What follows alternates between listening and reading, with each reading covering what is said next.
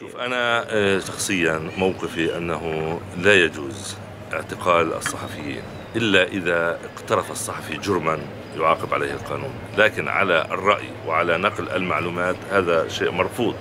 آه، آه، الحادثة التي تحدثون عنها بالذات أنا لا أعرفها ولكن في عالمنا العربي هناك الكثير من الصحفيين الذين تعرضوا للقمع وتعرضوا للاعتقال وتعرضوا للملاحقة وكان هناك تصفيات أيضا لصحفيين كثر وأعتقد أن على النظام السياسي العالم في العالم العربي والنخب أيضا أن تعيد نظرتها وتفكر مليا كيف تتعامل مع الإعلام لأن الإعلام هذا جزء هام في المنظومة الاجتماعية السياسية في أي بلد كان سواء لدينا نحن العرب أو عند الأجانب آه، أيضا. وأنا الأوان أن يتم توسيع هامش الحرية بشكل يخدم مصلحة المواطن والوطن في الدرجة الأولى. شكرا لك.